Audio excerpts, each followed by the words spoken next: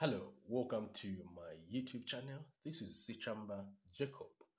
All right, so we've got uh, this question right here, of which we need to find the value of x.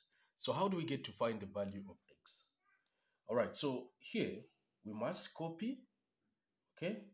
We copy what we have, and this is what uh, we have right here. So now, after copying, uh, we understand or we apply some certain rules of uh, indices or laws of indices. If you know, we've got a law which says that if you've got, uh, let's say, x power 0, this will just give us uh, a 1. Or 2 power 0 is equal to 1. Let me just say anything to the power 0 is equal to 1. This is the most important uh, rule that we must apply. So where do you think this can be applied? It can be applied right here where we have 1. Our idea is to balance the bases. So we shall maintain what we have to, to the left hand side. And to the right hand side, we are going to say x to the power 0, of which we know that x to the power 0 is the same as the 1, following this uh, rule right here.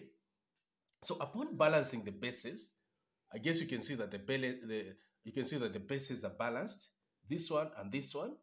So we can go to the powers. We say x power 2 minus 16 is equal to a 0. Okay, we now solve the quadratic equation by first grouping the like terms. So we shall have a 16 right here.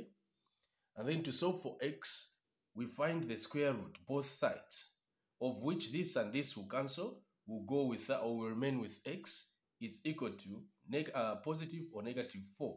Square root of 16 is uh, a 4. So since it's a quadratic equation, it will give us two solutions.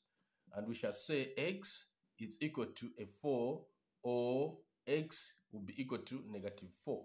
So these are the two solutions. Thank you so much for watching. This has been Sichamba Jacob. Bye-bye.